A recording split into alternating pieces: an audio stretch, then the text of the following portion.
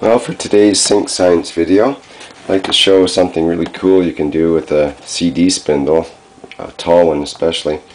This was given to me recently. I figured, what can I do with this thing? It's, I'm going to do some really cool things, but for today, I'm going to use it just as a simple container. It's nice and tall and narrow.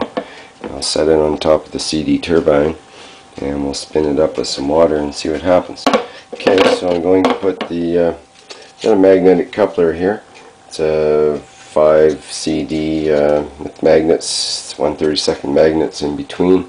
So I'll use that as the driver to uh, drive the uh, fluids inside our container. Okay, I'm going to fill that up with water.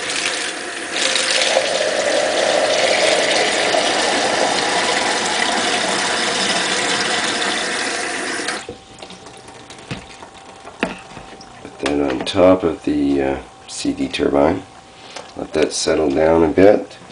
Add a little more water top it up. I think I'll call this experiment the beauty of the vortex. Okay, now ready to roll. And what I'm going to do is I'm going to remove the camera from the tripod and see if we can uh, capture some of the beauty of the vortex. Okay, I'm going to fire up the turbine here. I guess I better turn on the water pressure first. Okay, here we go.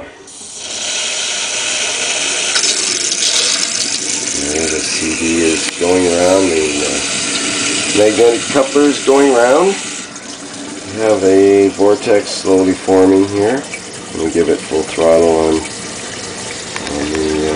pressure there.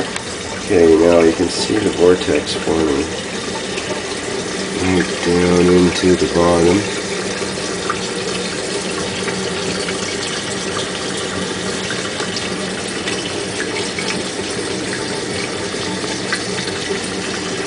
so cool seeing these vortexes.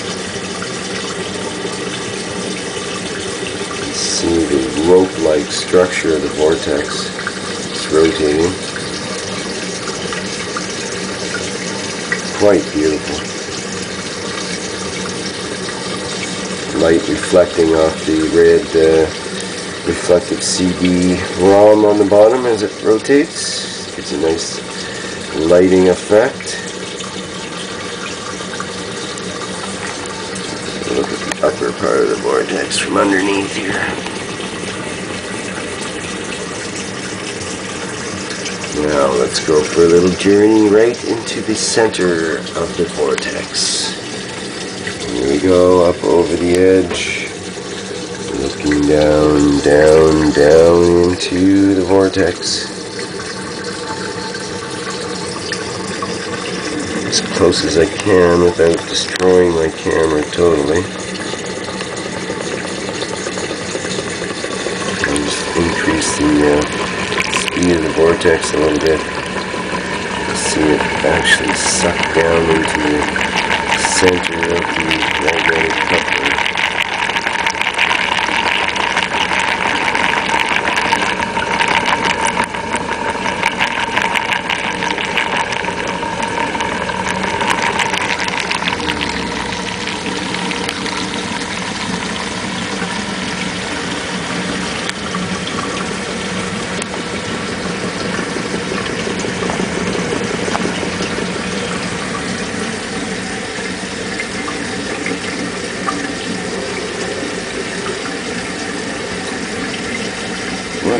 Beautiful thing to watch.